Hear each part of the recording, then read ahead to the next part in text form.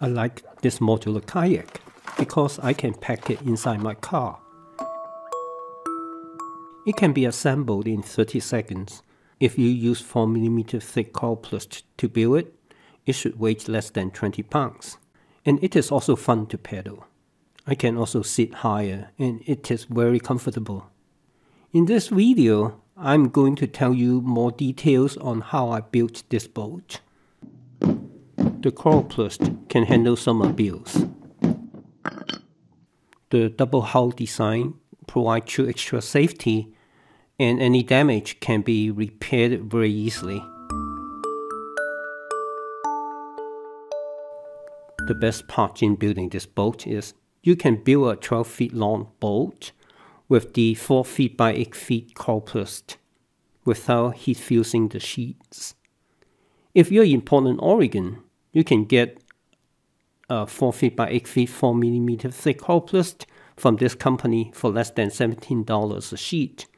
You need 4 sheets to build one. The cost to build this boat is less than $100. At this outfit, you can even get the 5 feet by 10 feet sheet. But if you go to Home Depot, you will have to pay a little bit more. I'm not affiliated with any of the companies I mentioned here. I built this boat as an experiment. When compared with my other foldable boats, the semi-rigid design provided a surprisingly stable footing for me to get in and out of the kayak. This is a little bit unexpected.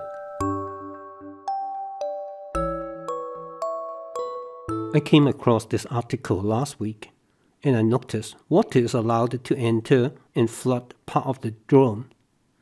Coincidentally, I'm using the same concept in building this kayak. The outer Coroplast hull created the basic shape of the kayak.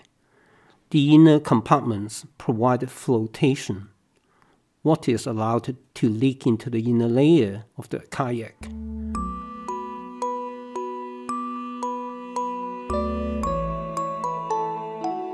A set of L-shaped hooks are mounted onto the base of the kayak.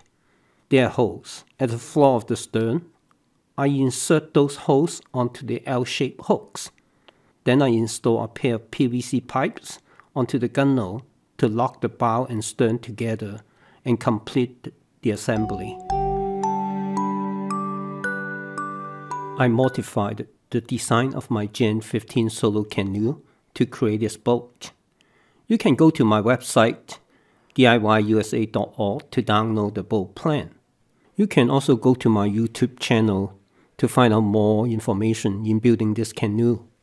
I basically cut the boat at the middle to create the bow and the stern sections. I will discuss how I build the rest of this boat in my next video. The boat plans and information I provide on my channel will always be free. The like button is one of the metrics YouTube used to decide if they should promote my video. Please give me a like if you find this video useful. And I appreciate your subscription to my channel. Thanks for watching and your support. Bye bye.